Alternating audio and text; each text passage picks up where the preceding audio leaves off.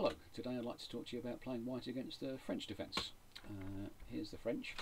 Now, I quite like the French defence as a, an opening because I think the main lines of it after d4, d5 and at some point white will move the pawn forward and we get a blocked position um, which might suit black better than white and a position actually where white's pawn chain is a bit of a target so black can continue with moves like c5 pounding away at d4 and I've got a feeling these positions are easier to play, certainly at club level, they're easier to play for black than for white.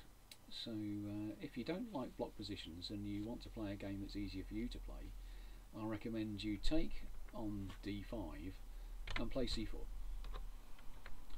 Um, either immediately or after uh, knight f3 and if black wants to block up the position that's not going to happen and if uh, we're happy with an isolated queen pawn position, that's the sort of thing that might uh, um, that might come in. So uh, uh, that that's uh, that's the lot of it. I think I've said everything about isolated queen pawn positions that I could possibly say. I don't think this position has got any theoretical idea of creating a, an advantage for white. I mean, I think it is just equal. White's solved some of black's problems about uh, you know what's going to happen in the centre and how do I develop my bishop on c8 I mean so that you, you, sorry c8 there.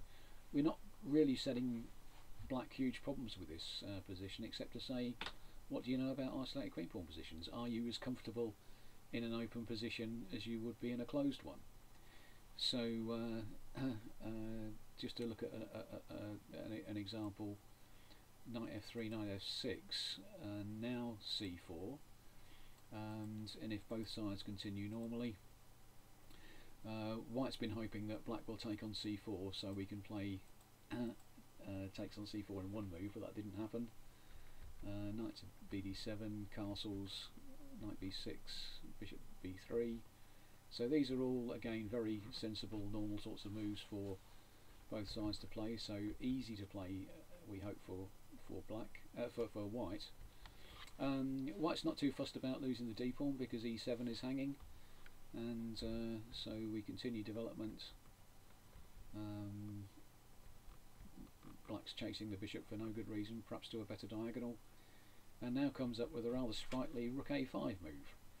Um, which is uh, obviously announcing good control over the d5 square if White's ever thinking about playing d4 to d5 but uh, uh, no reason to do that. And now um, white plays bishop to e5 with the idea takes and takes and black's pieces are being pushed off the uh, pushed away from the king's side. So actually black decided to go back to e7 in this position. Queen to d3 spot the threat g6 so now white's uh, sorry black's uh, weakened their king's side a fair bit and white uses the extra space given by the queen pawn to play the rook lift rook to e3 king to d7, rook to g3, spot the threat, rook to g8, uh, queen to f3, uh, just being awkward I think, and uh, rook to g4, rook to f8, and now queen to f5, um, keeping all the threats going, and now uh, unable to defend the uh, g6 and unable also to avoid the discovery onto uh, A5, um, uh, Black decided to throw in um, the uh, th throw in a queen for lots of material to defuse the attack.